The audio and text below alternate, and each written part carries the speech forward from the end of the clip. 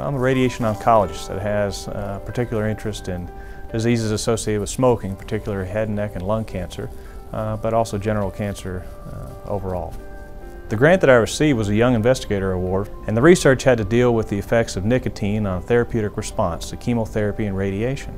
I was very, very enthusiastic about receiving uh, this award while at the University of Kentucky. It didn't make any difference that I was from an institution that maybe wasn't associated with as much funding in the past.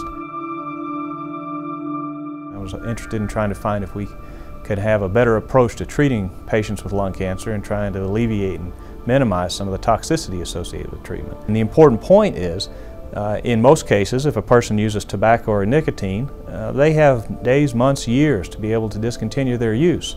But if you have cancer, you don't have that amount of time. You really have to decide what you're going to do right away.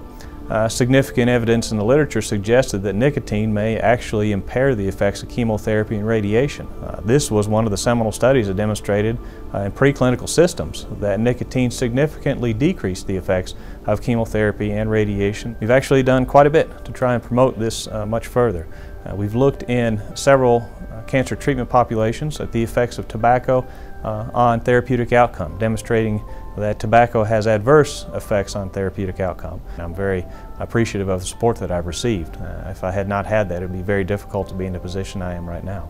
This will uh, enable me to pursue something that I am very enthusiastic about and I believe has a significant impact on a very broad spectrum of patients uh, during cancer treatment.